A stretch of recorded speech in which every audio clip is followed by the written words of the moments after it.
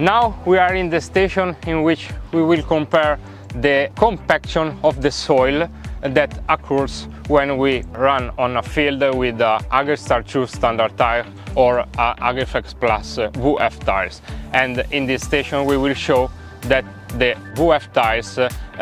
has a less compaction of the soil in a comparison to the uh, standard tires. Uh, in fact, we can see the layers uh, for VF tires that are less compacted than the standard layers and uh,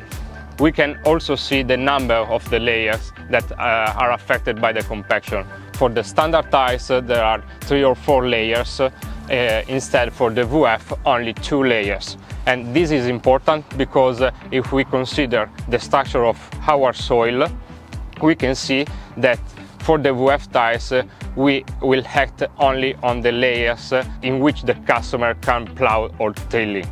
and instead for the uh, standard tires the compaction goes deeper into the ground and uh, reach some um, area that is not touched by the ploughing. So the compaction for the uh, Agristar 2 will be remain for all the year if uh, we don't apply a deeper plough.